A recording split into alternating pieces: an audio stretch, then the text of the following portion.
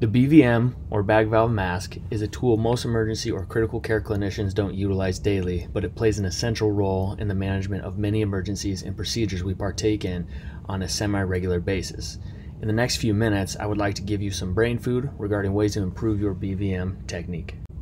Although not everyone will buy into this, there is some importance to understanding the basic parts of a bag valve mask. Here, we see a relatively traditional BVM, it consists of multiple important parts for the provider to be aware of and becomes even more versatile with added equipment.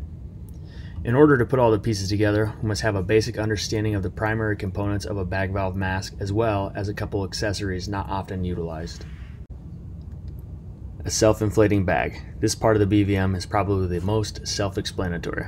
After being squeezed, it reinflates itself. Another thing to be aware of is that many self-inflating bags contain approximately 1200 mLs of air, plus or minus about 200. This is very important, especially when you find out that the average adult tidal volume is approximately 300 to 500 mLs. And just think about that the next time you see someone double fisting the entire bag while ventilating a patient. Then there's the face mask, another absolutely essential portion of the BVM. This should have air within the portion of the mask that be placed against the patient's face. Some BVM masks have a reservoir to put air into the mask if it has deflated. A pop-off valve is another component of a BVM but is not found on all models. A pop-off valve is more often found in pediatric and neonate variations of the device. A pop-off valve, often referred to as a pressure relief valve, serves the purpose of preventing overpressurization of the lungs. Many pop-off valves pop off at approximately 40 centimeters of water. The exhalation port, often accompanied by a flow diverting cap, is where air is, well, where air is exhaled. Knowing where the exhalation port is located and how it functions is important. Why? Because it is where the PEEP valve will be inserted. The PEEP valve is an underutilized tool that can be added to a BVM providing positive end expiratory pressure or PEEP able to be adjusted from 5 to 20 centimeters of water. Not only does this accessory assist with oxygenation, but prevents absorptive atelectasis and can be utilized for pre-oxygenation and nitrogen washout when utilized prior to RSI. End tidal CO2, and yes, this is the same T-piece we use for confirmation of endotracheal tube placement after intubation. This is another underutilized piece of equipment that can be used to determine the effectiveness of your ventilation and ventilation technique. It is attached between the bag valve mask, mask, and the exhalation port. When attached to an appropriate monitoring device, a breath rate can be readily identified breath by breath. Trending of the end tidal CO2 levels can also be performed and titrated to the desired CO2 levels. When a PEEP valve and an end tidal CO2 T-piece are added to BVM, more effective ventilation and oxygenation can occur and be more easily monitored. Don't forget about the oxygen inlet and the reservoir bag. I won't go into depth here, just add O2. Now, a quick overview of a PEEP valve. The PEEP valve provides positive end expiratory pressure, or PEEP, as mentioned earlier. A PEEP valve does exactly what you think it does. It provides positive pressure at the end of expiration. With the application of a PEEP valve to a BVM, that positive pressure at the end of exhalation can assist with opening the alveoli and also improves ventilation perfusion mismatch, shunt, atelectasis, and atelectasis trauma, all while maintaining alveolar recruitment. Now, I have heard and read some contradicting information on what PEEP actually does. What we do know for sure is that after a breath is delivered, it maintains that alveoli in an open state at the end of expiration, essentially holding the alveoli open, not allowing them to close. This increases or restores the functional residual capacity. The functional residual capacity, or FRC, for those who aren't familiar, is the amount of air that remains in the lungs after normal exhalation. This is where the magic of oxygenation tends to happen. What some seem to disagree on is whether PEEP assists with recruiting the alveoli or not. I don't know the answer to this as I've read contradicting information from what I would refer to as reputable sources. The theory I'm sticking with is that alveolar recruitment comes from tidal volumes delivered from a BVM or ventilator and that the PEEP maintains the recruitment obtained from the delivered tidal volumes. That was a very long spiel just to say PEEP maintains recruitment of the alveoli, which will lead to increased and improved oxygenation because there are more alveoli to participate in the O2 CO2 gas exchange. Use a PEEP valve whenever possible. Now, is there a downside to PEEP?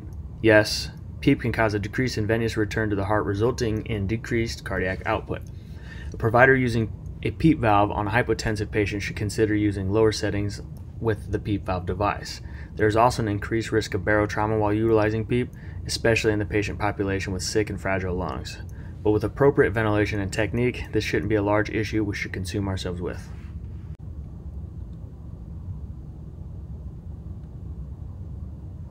I always seem to get the same questions regarding the end-tidal CO2 T-piece when adding it to a BVM. Who should we use an end-tidal CO2 device on? An end-tidal CO2 T-piece should be used on all patients who are obtunded or have respiratory distress, whether it's done by nasal cannula type device or an inline device. It is an essential tool to be utilized every time you choose to ventilate a patient via BVM. Why use the inline end-tidal CO2 T-piece? It is an invaluable tool for monitoring respiratory ventilation status. An inline end-tidal CO2 T-piece can be placed between the mask and the BVM exhalation port in the same way it would be placed on an endotracheal tube. While maintaining a good mask seal, a waveform on your capnogram can be appreciated and used to help guide your ventilation. A poor waveform could be an indication of poor mask seal or lack of air movement in and out. Adjustments to your BVM technique should occur if poor waveforms during ventilation are identified. Is there ever a time when we shouldn't use it? The answer to that is no. Or, well, sure, if you don't want direct feedback on the adequacy of your BVM technique and continued patient condition breath by breath. Here is another variation of the previously mentioned BVM setup. Note, this variation of the device lacks a pop-off valve but has a pressure monitor in place of it. A pressure monitor is valuable and can assist the provider in delivering the breath to maintain appropriate breaths within the normal pressure range. According to many sources, there is this thing called a gastric sphincter opening pressure.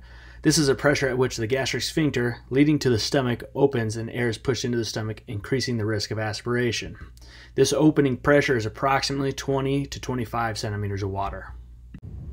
Out with the old and in with the new, as long as you have enough providers. Two person thumbs up bagging versus the traditional C and E technique. The two thumbs up technique, according to research, many online resources, and expert opinion, has proven superior to the old standard or the C and E technique.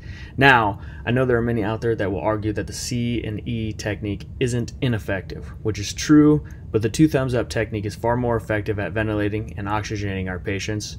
What is the downfall? You have to have two providers to perform this skill effectively, which isn't always practical or possible. The optimal way to perform BVM ventilation is with two providers. A mask seal is held with both hands by one provider while the other provider squeezes the bag. When maintaining a mask seal with two hands, a double C and E grip can be used, but the two thumbs up technique is preferred and reportedly more effective. This technique allows both hands to be used for displacing the jaw forward and results in significantly improved mask seal.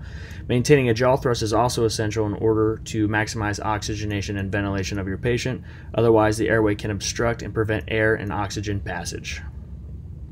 If you have any doubts about the effectiveness of this technique, try it on your next RSI. Your practice will be forever changed, I promise. Now that we're familiar with the two person thumbs up technique, let's talk about how hard we should squeeze the bag. We know that one provider will be maintaining a very effective mask seal and providing a jaw thrust for increased ventilation. But what is the other provider's job?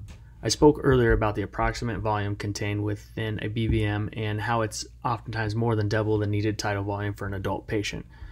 What this means is that we don't need to squeeze the entire bag. In fact, we honestly don't need to be utilizing two hands. One hand is plenty sufficient. The bag should be squeezed just enough to cause visual chest rise and fall, as well as producing end-tidal CO2 waveform return. Be mindful of how fast and hard the bag is squeezed, and if a pressure monitor is present, attempts to not exceed the gastric sphincter opening pressure should be made. The two thumbs up technique in most scenarios should be more than sufficient to ventilate and oxygenate our patients effectively. However, patients with large tongues and, how do I say this, floppy airway tissues may need more than just the standard two thumbs up technique. Adding airway adjuncts such as OPAs and NPAs, and yes, I do mean both, can increase the effectiveness in ventilation being delivered. Keep in mind, if the patient has an intact gag reflex or maxillofacial trauma, the OPA or NPA may be contraindicated. And the last thing I have for you is this fun fact. 50% of volume is lost when laying the patient flat. To effectively recruit alveoli and ventilate appropriately, a heads up position should be utilized.